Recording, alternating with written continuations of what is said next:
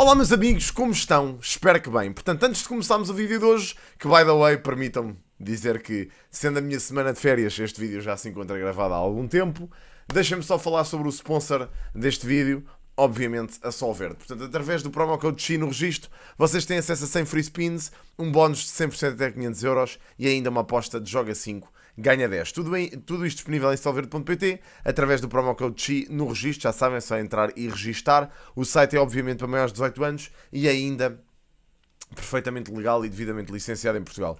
Dizer-vos também que tanto eu como a Solverde aconselhamos a um gambling responsável, portanto, pá, não apostem sem, sem obviamente, terem noção do dinheiro que podem apostar e ainda, pá, se apostarem, apostem para entretenimento, está bem? Nunca para fazer dinheiro.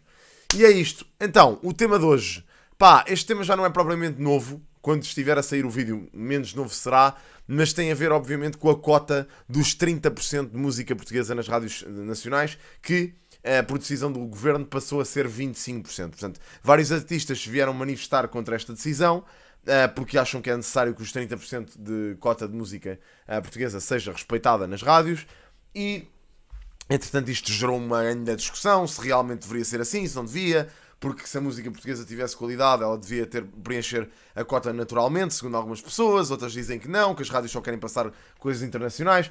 E pronto, anyway, malta que diz que basicamente esta cota também serve para a indústria da música, em Portugal pelo menos, avançar e ser lucrativa. Epá, mas pronto, enfim, uh, eu, eu pessoalmente, olhando para isto, acho que esta obrigatoriedade não devia existir, ok? Acho parvo, uh, ela passou também só para 25%, portanto desceu 5% a obrigatoriedade. Uh, as rádios, neste caso, fazem aquilo que, que bem lhes entender, cumprindo esta norma, mas, na minha opinião, isto deveria ser não uma obrigatoriedade, mas sim um incentivo. Ou seja, se as rádios preenchessem a tal cota dos de 30%, seriam incentivadas com, se calhar, dinheiro do Ministério da Cultura. Parece-me uma boa, uma boa opção. Neste caso, não, não, não acho que seja a linha que o governo quer seguir. Uh, portanto, não sei.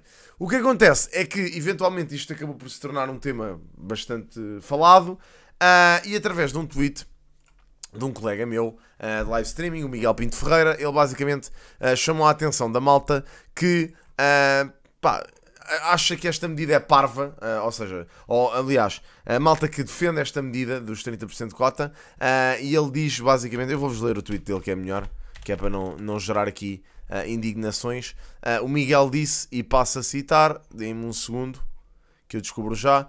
Ok, ele diz: criadores de conteúdo que defendem a obrigação das rádios passarem mais de 30% de música portuguesa estão prontos para, para gravar gameplay de 30% de jogos portugueses, falar 30% sobre tecnologia portuguesa, usar 30% de roupa, maquilhagem portuguesa. Uh, e entretanto, isto gerou uma enxurralhada de opiniões. Malta a ir dizer que sim, que devia, ser, que devia acontecer, jogar jogos de 30% portugueses não era má ideia. Epá, e sinceramente, eu vou-vos dar a minha opinião, é péssima ideia. Epá, os jogos portugueses, na sua grande generalidade, não são bons, ok? Há alguns que sim, há efetivamente grandes empresas que têm portugueses a trabalhar lá e que fazem um ótimo trabalho, mas os índios portugueses, é pá, são um nicho, ok? E portanto toda a gente ser obrigada a ter que uh, gravar conteúdo sobre esses jogos, pá, não acho bem, sinceramente, acho que é um disparate. E portanto foi uma comparação que o Miguel fez. Também não sei se é a melhor comparação de sempre, porque a indústria da música e a indústria dos jogos, neste aspecto, em Portugal pelo menos, estão desenvolvidas de, de, forma diferente. Mas claro que houve gente que se foi indignar com isto, uh, e eu gosto sempre de malta que se indigna, basicamente. Um, pá, portanto, Houve pessoal que entretanto foi lá dizer ai ai, uh, marcas portuguesas se quiserem apoiem-me a mim, aqui isto é um disparate, e depois entraram numa discussão absurda sobre, sobre, esta, sobre esta cota que deviam preencher. Epá, em relação a esta medida, é aquilo que eu digo, na minha opinião, é sempre a questão da obrigatoriedade. Acho que a obrigatoriedade é parva, nunca deveria ser uma questão, nunca se devia uh, ir buscar esta situação para se dizer, é pá, vocês são obrigados a terem que fazer 30% ou terem que passar 30% de alguma coisa. Acho que isto é um disparate autêntico, mas, mas percebo o porquê de existir, uh, porque sem isso provavelmente as, as próprias rádios não, não teriam esse interesse em passar música portuguesa. Contudo, olhando para o panorama nacional, eu sinto que já existe muita gente que hoje em dia quer efetivamente passar música portuguesa, muitas rádios querem passar essa música portuguesa, porque a música portuguesa, ela própria, já é popular, pelo menos cá em Portugal, uh, tanto ou quanto as músicas estrangeiras. Portanto, o nosso pop português é um pop até bastante popular, Uh, o nosso hip hop também está bastante popular. Portanto, as próprias rádios, não, não as, as, generalistas, mas as jovens pelo menos, passam muita música portuguesa. Eu acho que sim. A própria RFM e a comercial também, que são os generalistas, passam também. Uh, mas, por exemplo, a M80 vai passando alguns clássicos, mas a grande generalidade da música que passa é sempre muito estrangeira. Pá, e faz sentido, na minha opinião. Claro que, lá está, esta obrigatoriedade coloca sempre um entrave, se calhar, a rádios que querem surgir com uh, um género musical muito específico e têm que passar músicas que não são assim tão conhecidas e acabam por prejudicar, se calhar, um bocadinho o seu público-alvo.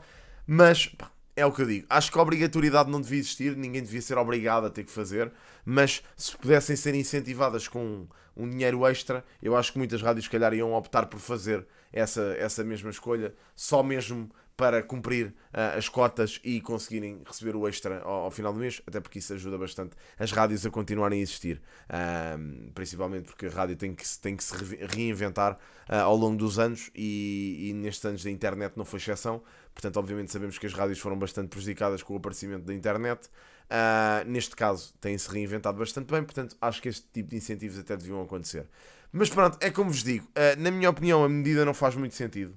Uh, nem, nem sequer sabia disto, só soube uh, por causa desta polémicazinha. Não fazia ideia que, que as rádios eram obrigadas a, a, cumprir esta cota, mas como vos disse, acho que se resolveria. E as pessoas que sugerem que isto deva acontecer e deva ser obrigatório, é pá, na minha opinião é disparatado, mas é a minha opinião, vale o que vale. Uh, e portanto andamos aqui nisto, na mesma.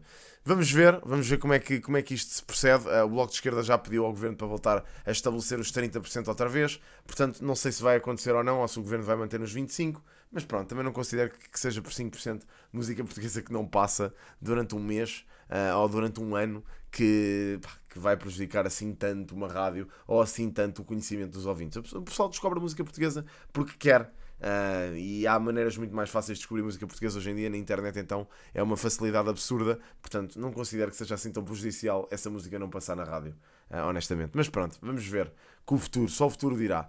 E é isto, meus amigos. Obrigadíssimo por verem o vídeo de hoje. Espero que tenham gostado. E se gostarem, deixem like. Sigam-me nas redes sociais, estão todas em baixo na descrição. Uh, e vejo-vos no próximo. Grande abraço. Tchau, tchau.